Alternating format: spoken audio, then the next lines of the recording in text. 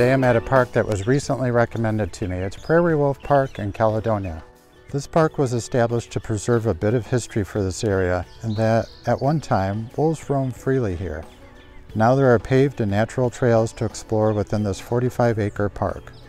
And while there may not be any wolves to see, there are plenty of wildlife to be on the lookout for. So let's go exploring.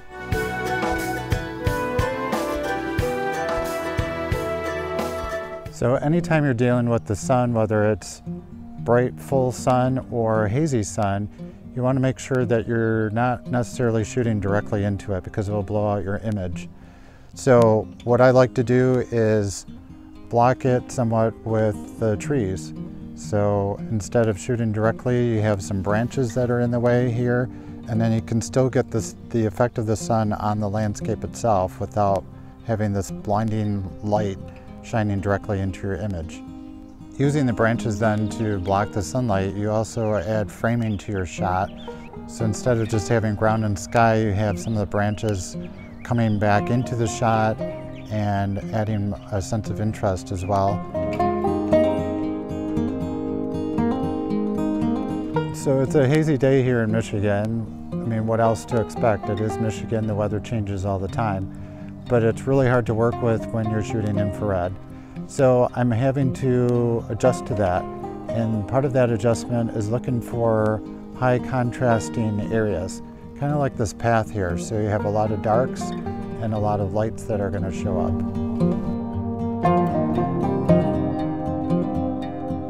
I like to take shots of paths or trails, especially if they go into the woods because it draws the viewer into the shot and it makes them curious about what's around the next corner, what's further down the path, what are they going to see along the way.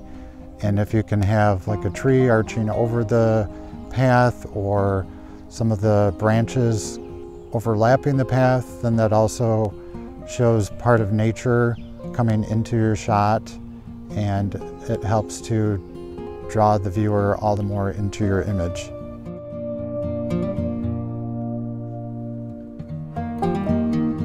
Talked about tom trees before and shooting trees of interest that have a little bit of character to them.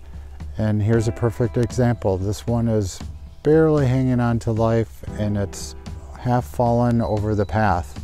But there's some interest in it because of the broken parts. The fact that this is hanging on to life just barely and the highlights are on the broken limbs adds more interest to the image. I've talked about finding the character in a place, in a location that you're at and shooting details and looking for things that may make some location look better. So this area right here is intriguing because it's green, but not necessarily the most attractive looking. So what I'm looking for are highlights where I can shoot close-ups of just small little areas to show off the area in its best light. So I'm looking for things that give me high contrast, whether in light and dark or textures. I spotted these plants growing up here and it's just enough contrast against the skyline to intrigue me. Plus you've got the new growth on them as well. You can see the buds starting to sprout. So that's going to be something that I'm going to take a picture of. So for this particular image, I want to convey a sense of depth as well as showing off the new growth. So I'm going to have one stalk in the forefront that's in focus and then the rest I'm going to have out of focus in the background. But it draws your eye in deeper into the image and it gives you a sense that there's more going on than just what's what you're seeing in the foreground. And also there's a contrast between the, the ground itself, the background trees, and then the sky. So you also have these three layers going on beyond just the image of the subject in the forefront. While everybody with a manicured lawn doesn't want to see these in their yard, out here in nature it's a different story. Using black and white I can show appreciation for this plant in the texture, in the form, And by combining it with the stalks next to it, there's a contrast again in texture, in shape, in size. So you use all these components to create your composition.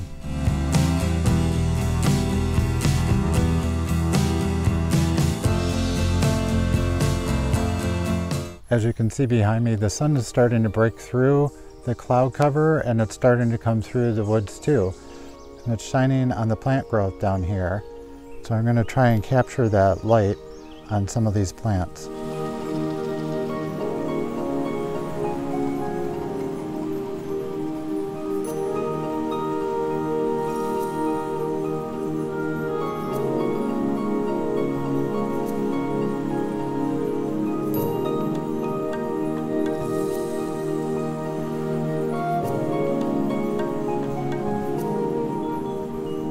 When I go out for nature hikes, it's not always about taking pictures.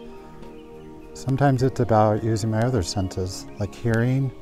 There's all different birds that are vocalizing. There may be frogs croaking. There may be rustling in the undergrowth. You don't know what kind of critter that is. There's also the breeze blowing through the trees. There's also your sense of smell that you can use to determine what plant life you're smelling because it's quite fragrant, especially in the spring and summer.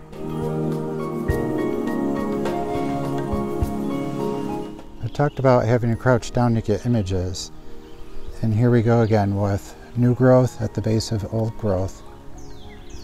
This is something that really captures my attention. Plus, you, again, you have the contrast of textures and lighting. The base of that trunk is in shadows, whereas the the new growth is highlighted by the sun, and even surrounding it, you have some highlights on different things growing in the ground too. Trees are one of my favorite subject matters to photograph, but coming in a close second are clouds. And the sky has cleared up just enough to give us some cloud formation in the background. So I'm going to do a landscape shot. Now remember, we talked about shooting trails and pathways and kind of shooting them at an angle and including other things in your shot for a good composition.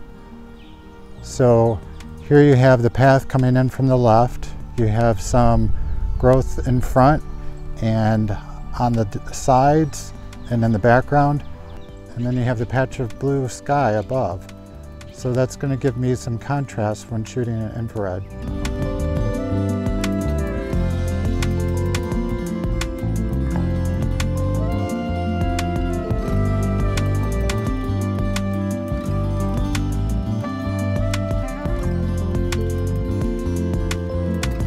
Outside taking photographs, don't feel like every image has to turn out. It's all a creative experience of experimenting with locations and textures and lighting. The main ingredient is to be outside in nature and enjoy it just as it is.